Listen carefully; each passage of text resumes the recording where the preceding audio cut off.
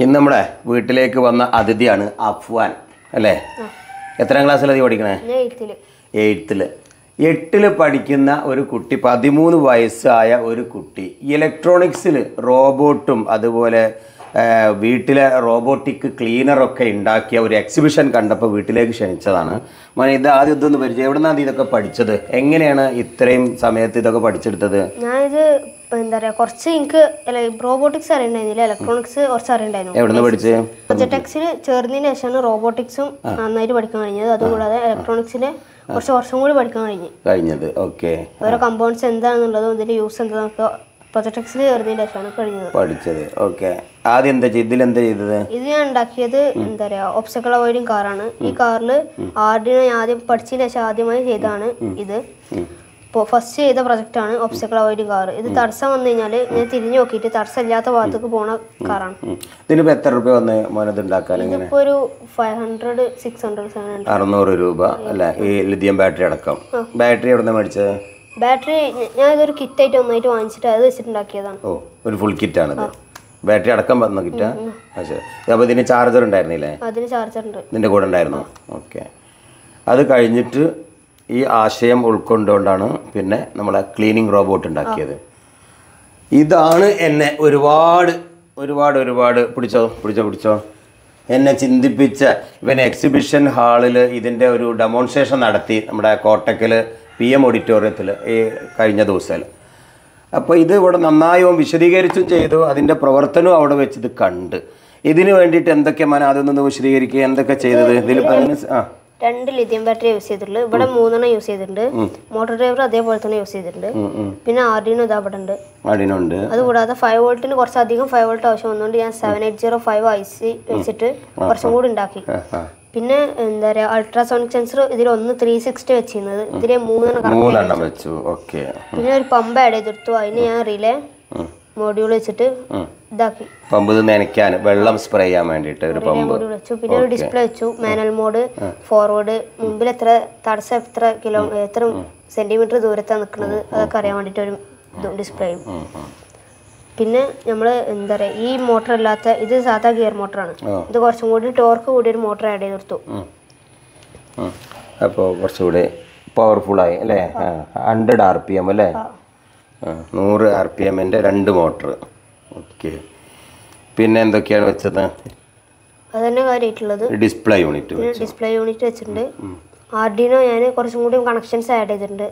ഇതിലാറ് മൂന്ന് സെൻസറിന്റെ negative connect ചെയ്തിട്ട് നെഗറ്റീവ് നേരെ ഫൈവ് വോൾട്ട് കൊടുത്തു. ഒന്നായിക്കൊണ്ട്. പിന്നെ പോസിറ്റീവ് അതേപോലെ തന്നെ നേരെ ആർഡിനോ കൊടുത്തു. പിന്നെ എന്താ വൈഫൈ കൺട്രോളിന് വേണ്ടിയിട്ട് എന്താ ചെയ്തത് ഇത് ബ്ലൂടൂത്ത് മൊഡ്യൂൾ ഇത് മൊബൈൽ കൺട്രോൾ ചെയ്യാൻ വേണ്ടിട്ടുള്ളതാണ് ഈ ആപ്പ് ഈ വൈഫൈ കൺട്രോൾ ഇല്ലാതെ തന്നെ ഇത് ഓടൂലേ?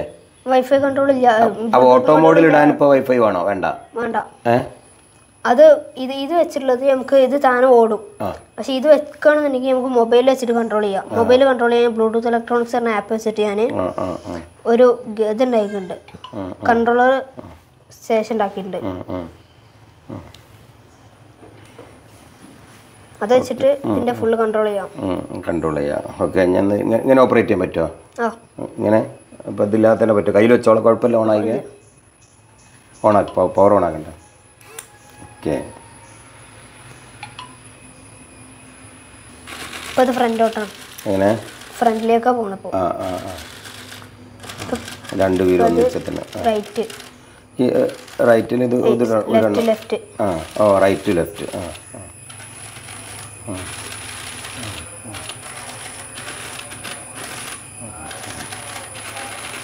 പിന്നെ ഇത് മോട്ടറിന് വേറെ വരുന്നുണ്ട്.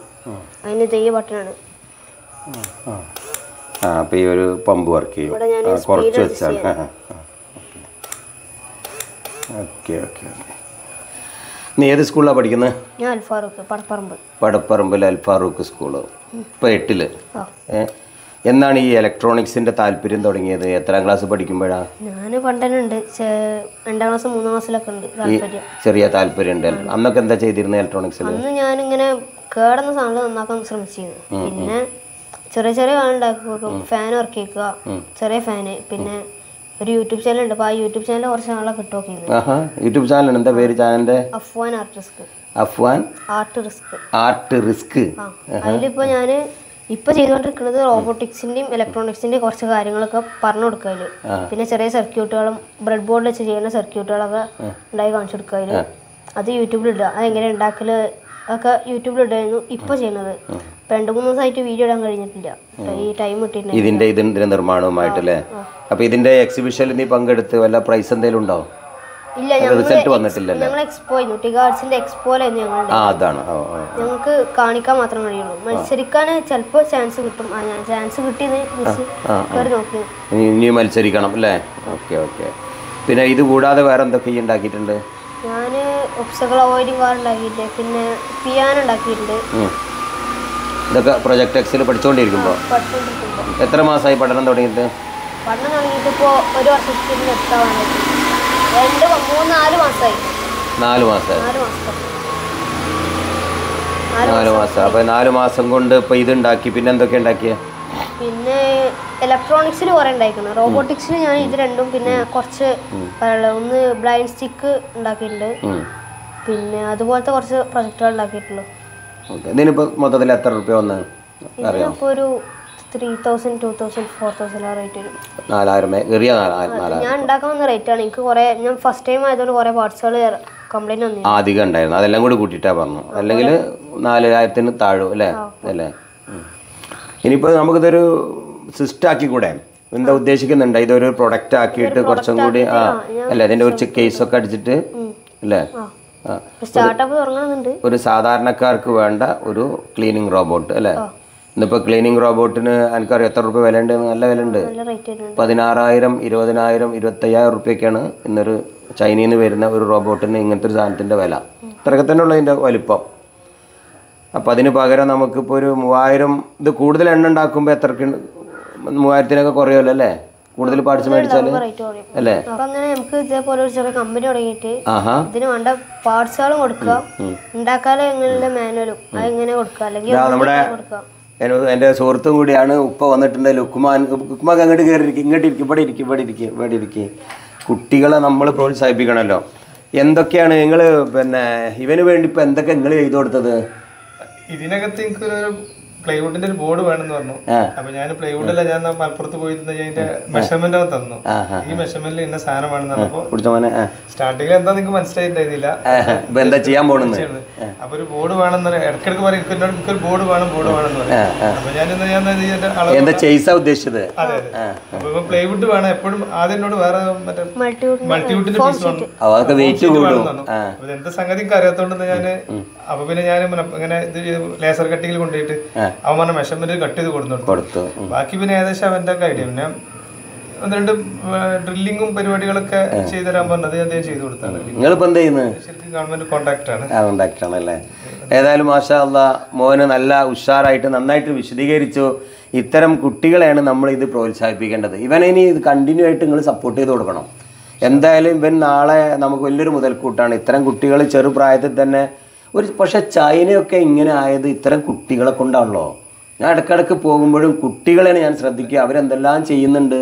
ഇതിപ്പോ പ്രധാന ഇപ്പൊ പ്രോജക്ട്സ് ചേർന്നതിന് ശേഷം ഇത്ര ധൈര്യത്തിൽ കാര്യങ്ങൾ അവന് ഇലക്ട്രോണിക്സിൽ ചെറിയ ചെറിയ സംഗതികളായിട്ട് ഇങ്ങനെ താല്പര്യം ആ താല്പര്യം കണ്ടിട്ട് ഞാൻ പ്രോജക്ട്സിന്റെ പരസ്യം ഇങ്ങനെ വന്നപ്പോ അത് കണ്ടിട്ടാണ് ഞാൻ അതിന് ചെയ്തു കൊടുത്തത് അതിന് ശേഷമാണ് ഇവർ ഈ കോഡിൽ ഇതിനൊക്കെ ഭയങ്കര ഉഷാറായിട്ട് ഞാൻ പ്രതീക്ഷയില്ലാത്ത ആൾ നല്ല ഉഷാറായിട്ട് എല്ലാം എല്ലാം ചെയ്യുന്നുണ്ട്. പെട്ടെന്ന് തന്നെ മൊബൈലിൽ വെച്ചിട്ട് തന്നെ കോഡൊക്കെ എനിക്ക് മൊബൈലിൽ നമുക്ക് ഈ കോഡ് നോക്കാൻ തന്നെ പ്രയാസം. അവൻ പെട്ടെന്ന് റെഡി ആക്കിയിട്ട് കോഡ് ഏകദേശം ഒരു തുടക്കം കിട്ടി കഴിഞ്ഞാൽ പിന്നെ അതിൽ കൂടെ ആൾ ആൾ കംപ്ലീറ്റ് ചെയ്യണ ഒരു ഇത് വന്നപ്പോഴാണ്. കോഡ് എടുക്കലും അടിക്കലും അത് ഡൗൺലോഡ് ചെയ്യലും ഒക്കെ പുള്ളിക്കാരൻ തന്നെ ചെയ്യും. ഏതായാലും ഇത്തരം കുട്ടികളൊക്കെ വളർന്നു വരട്ടെ. നിങ്ങളൊക്കെ പ്രോത്സാഹിപ്പിക്കുക. ഇത്തരം കുട്ടികൾക്കൊക്കെ ഈ വീഡിയോ അയച്ചു കൊടുക്കുക. ഇവരെയൊക്കെ അഭിനന്ദിക്കുക. മോന്റെ ചാനലിന്റെ ലിങ്ക് ഞാൻ താഴെ ഇടുന്നുണ്ട്. അതൊക്കെ ഒന്ന് സബ്സ്ക്രൈബ് ചെയ്ത് ഫോളോ ചെയ്തിട്ട് ഇവനെ ഒന്ന് നമ്മൾ സപ്പോർട്ട് ചെയ്തെടുക്കുക. മാർക്ക് നന്നായിട്ട് സ്കൂളിൽ മാർക്ക് വാങ്ങണം കേട്ടോ. ഇതിൽ പഠിച്ച് എത്ര വന്നാലും ഇതൊക്കെ പഠിച്ചു കഴിഞ്ഞാൽ പത്താം ക്ലാസ്സിലൊക്കെ നല്ല മാർക്കാണ് കുട്ടികൾ മേടിക്കുന്നത്. ഐ ടിയിൽ നല്ല സന്തോഷം താല്പര്യം ഉണ്ടാകും. പഠിക്കാൻ തന്നെ നല്ലൊരു താല്പര്യം ഉണ്ടാകും. പാതി വയൽ ഉപേക്ഷിക്കൊന്നുമില്ല ഇവർ കാരണം ഇനി മുന്നോട്ട് പഠനവും ഇതും കൂടി ഉണ്ടെങ്കിൽ മോനക്ക് എന്തായാലും തുടർന്ന് എന്ത് ചെയ്യാൻ പറ്റും? കുറേ കാര്യങ്ങൾ ചെയ്യാൻ പറ്റും. ഇപ്പോൾ പത്താം ക്ലാസ് പഠിക്കുന്ന കുട്ടിയൊക്കെയാണ് ഇപ്പോൾ ചൈനയിലൊക്കെ ഫാക്ടറി തുടങ്ങിയിരിക്കുന്നത് വെറും പതിനാല് പതിനഞ്ച് വയസ്സായ കുട്ടികളൊക്കെ സ്വന്തം ഫാക്ടറി റൺ ചെയ്യുന്നുണ്ട്. എന്തുകൊണ്ട് നമുക്ക് ആയിക്കൂടെ? അപ്പോൾ ഇവൻ നമ്മളിഞ്ഞ് സപ്പോർട്ട് ചെയ്ത് കൊടുക്കേണ്ടത് ഇതിനെ ഒരു നല്ലൊരു കേസൊക്കെ അടിച്ചിട്ട് ഒരു പ്രോട്ടോടൈപ്പ് കുറച്ചും കൂടി ഭംഗിയായിട്ട് ഒരു അടുത്ത ലെവലിൽ ഇതിന്റെ ഒരു മോട്ടറൊക്കെ വെച്ചിട്ട്. ഞാൻ നേരത്തെ പറഞ്ഞ പോലെ മോനെ ഇത് ഒരു ഇത്രയും വെയിറ്റ് ഉള്ളത് വേണ്ട. കുഞ്ഞത് മതി.